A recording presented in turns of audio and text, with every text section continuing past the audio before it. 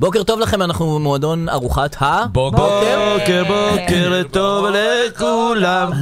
אין שיר כזה. לא, יש שיר כזה, רציתי הנה. לספר לכם, נו. בבקשה, הדר לוי בסיפור הבוקר שלה. אתמול אה, חברה אה, הייתה... יש לך חברות? כן, כן, היא אוקיי. הייתה בבית וקפץ להם החשמל. את לא נראית לי מישהי שיש לה הרבה גם היא חברות. מגניבה כזאת. כמוך, וזה? וכזה... יש לי דווקא הרבה גוד חברים. ספיריט, וזה לבנות כמוך. תמיד יש. חברות, יש חברות הרבה. לא, אבל לא טובות.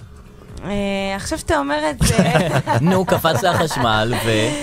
והחבר שלה יצא לבדוק את ה... אה, יש לה חבר. כן. אה, כן. אוקיי. אה, היא לא נראית זה אחת שיש היא לה לא חברים. בשבילך, לא. היא לא בשבילך. אוקיי, טוב לדעת. וחבר שלה יצא לבדוק את ה... מי זאת, גברת ג'יבוטרו? מי זאת? לא, את הארון חשמל. לא, זה- זה זה הסיפור של גברת ג'יבוטרו. עוד. לא. ואז היא אמרה לו. לא, לא, אל תצא, יש לי הרגשה שזה המחבל. טוב, אה, איזה מופרט. לא, היא לא מופעת, הוא בכל? מקום. אבל מה. המחבל מוריד את החשמל, נכנס. כדי להיכנס. וכדי להיכנס, אז הם נכון. חיכו בבית. אבל אפשר להיות היסטרי? מזה על- כל. דבר. וזה כל. הכיף. לא, זה כל הכיף עם המחבל הזה, הם שכל דבר אפשר. בבית. תדעי לך שגם אם היא הייתה פנויה, לא היית רוצה. לא הייתי רוצה אותה. למה?